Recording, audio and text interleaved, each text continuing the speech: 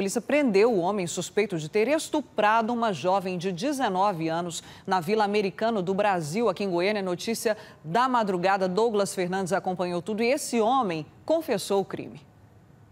No vídeo feito pela polícia, o suspeito confessa com detalhes como cometeu o crime. Estava passando na rua, ela no momento ela estava colocando um lixo para fora.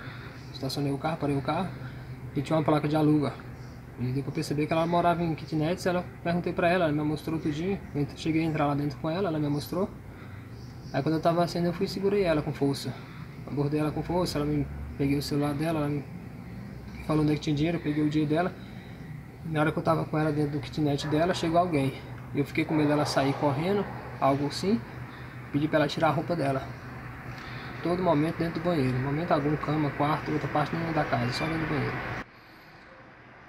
Pois é, mas que momento que você decidiu praticar o estupro? Sua intenção inicial era essa já? Não, era só o roubo. E que momento você decidiu praticar? Do nada, do nada. Debateu na cabeça e cometi.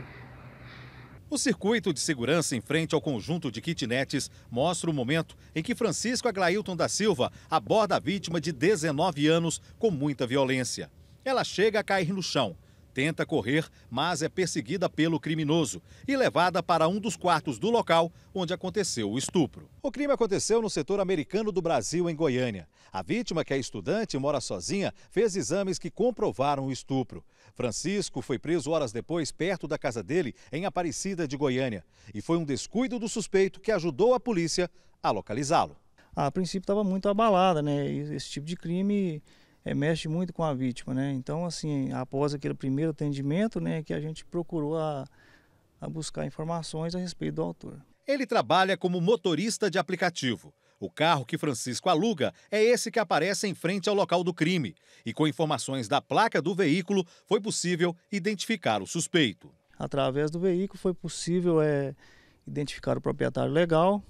A partir disso, é, chegamos ao proprietário legal, ele informou que é, havia alugado o seu veículo para que o autor, né, o Francisco, é, trabalhasse como motorista de aplicativo.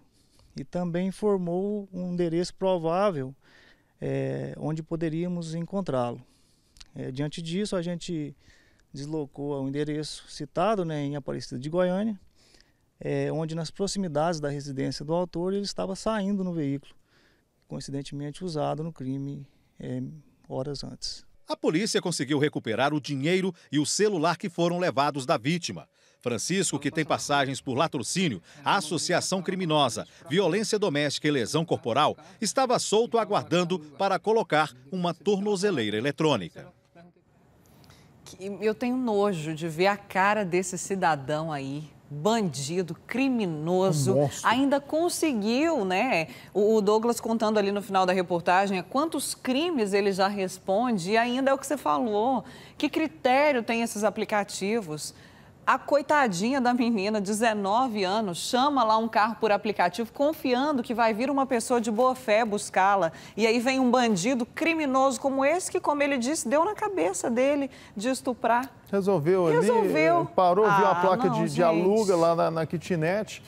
E aí colocou ela dentro do, do, da própria kitnet. Um monstro esse sujeito que aqui. Nojo, que nojo, Esse sujeito né? aqui é um monstro. Enche a tela dele, por favor, porque quem está em casa pode também ter sido vítima deste homem.